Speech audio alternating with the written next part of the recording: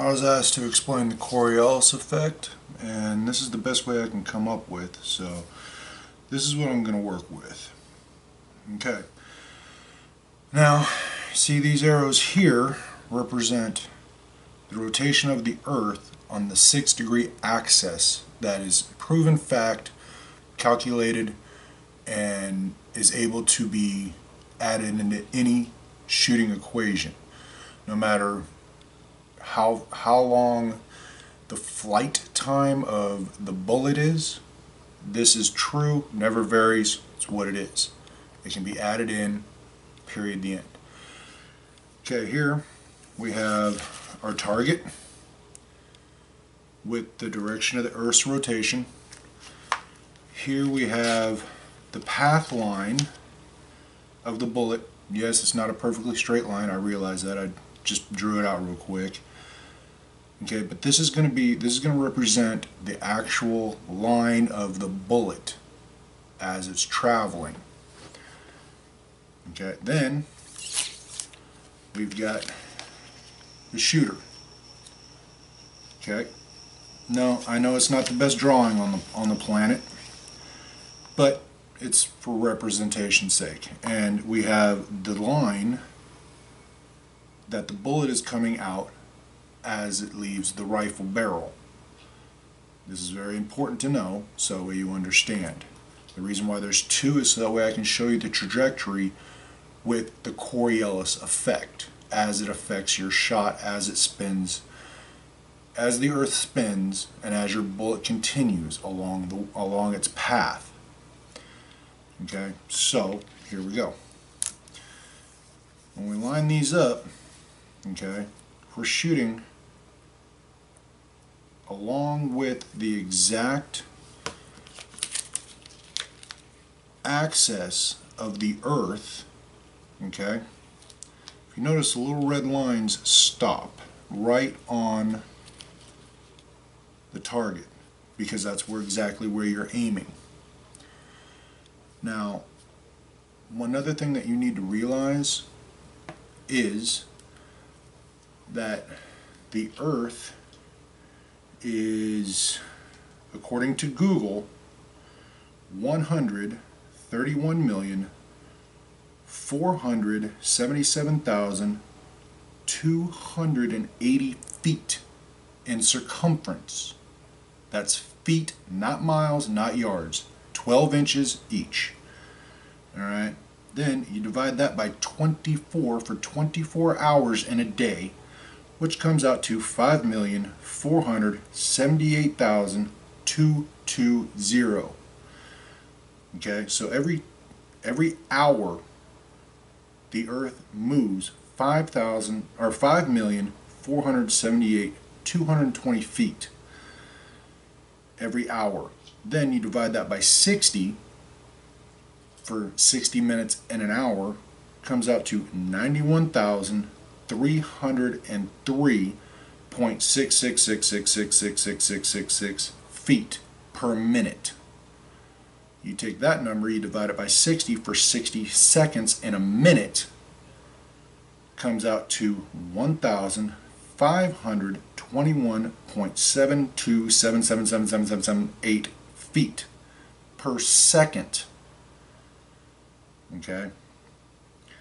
Now, if you take that number and divide it by 3, you get uh, 507.2425925926 yards per second.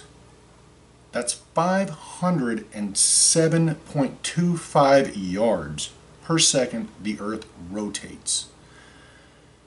Alright, now I'm going to get into my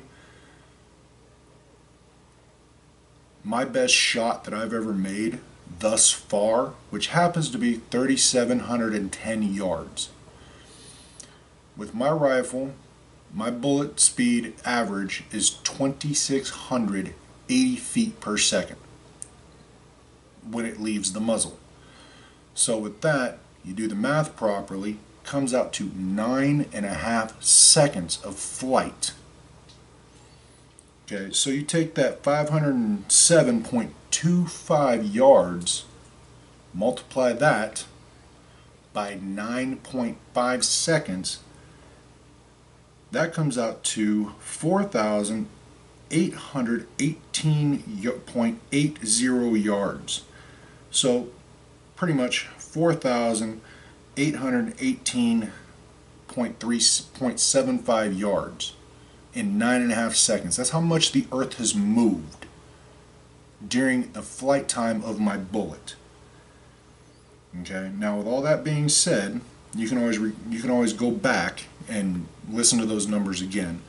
But with all that being said, okay, when your bullet before you squeeze the trigger, your bullet is still attached to the earth via the brass that's attached to the rifle chamber.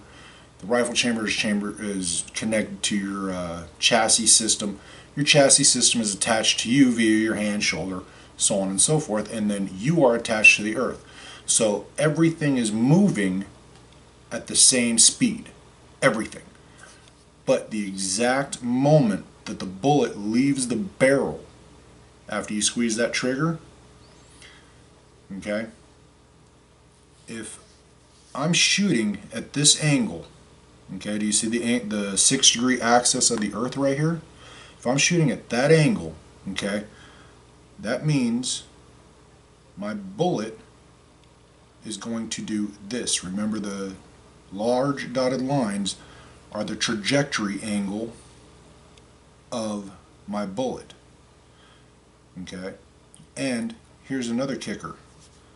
As it's rotating, not only is it moving away, or it's going to be moving to the right of me, but it's also going to be getting farther away at the same time. You have to calculate that in.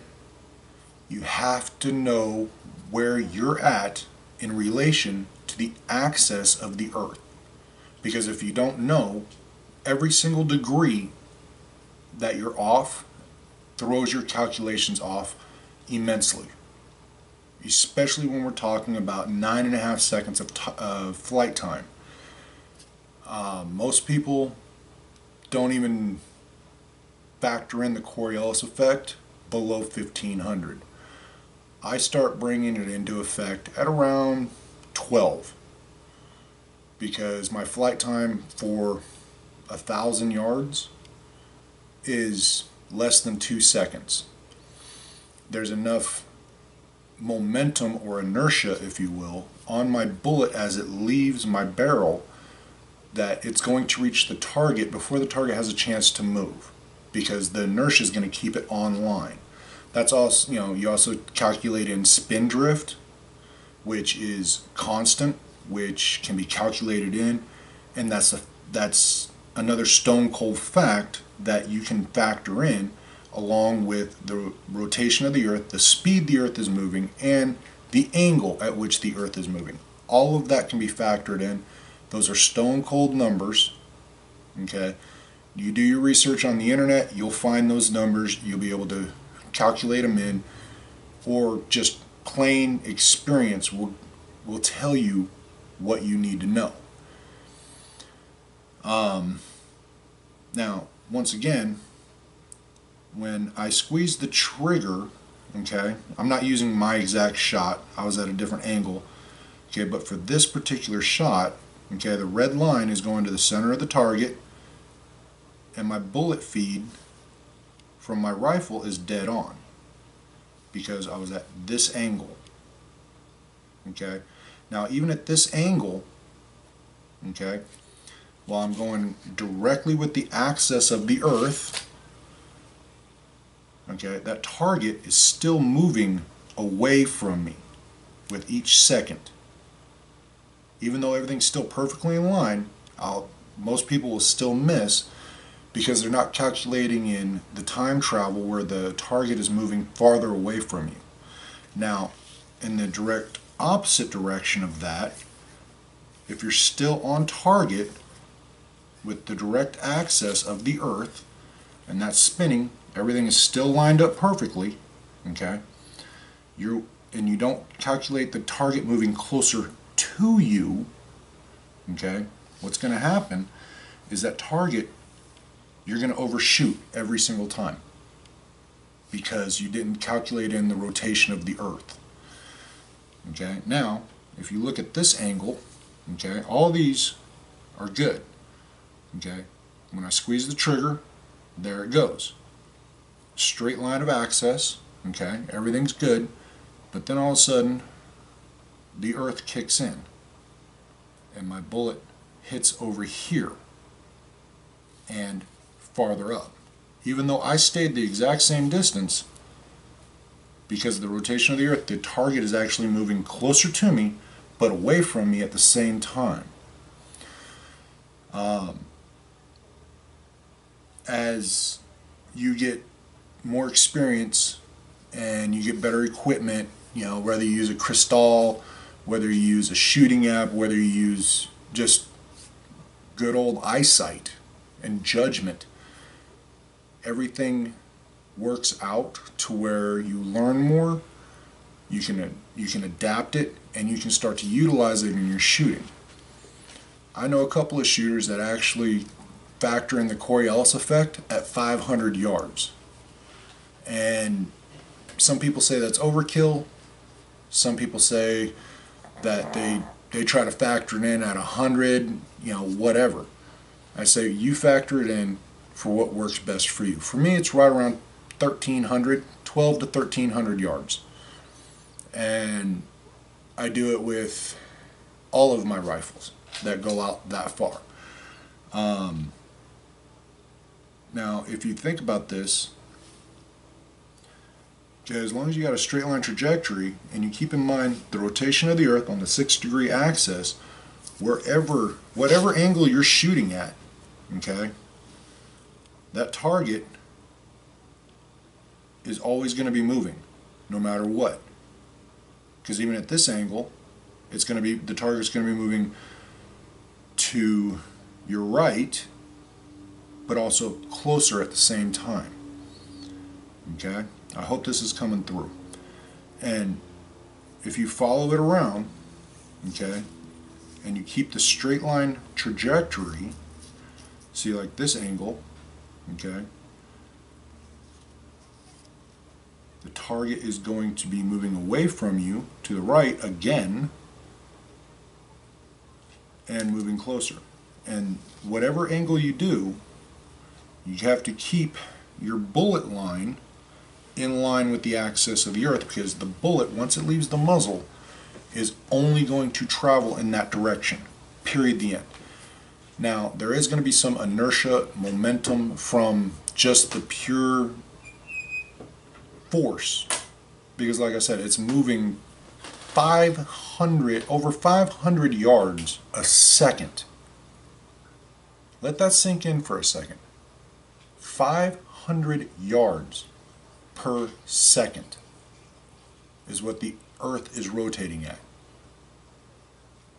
so with that that's a lot of speed when that bullet leaves the muzzle there's going to be inertia kicking it to the same direction of the rotation of the Earth. Some.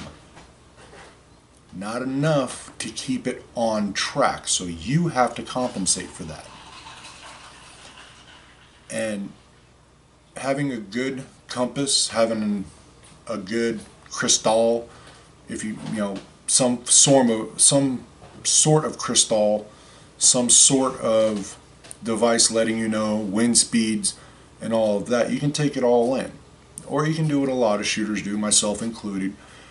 I've downloaded a uh, ballistics calculator, and with that, it generally gets me within the ballpark so I can see splash way out there, or my spotter, I should say, can see splash way out there, and uh, we can make correction calls on the fly.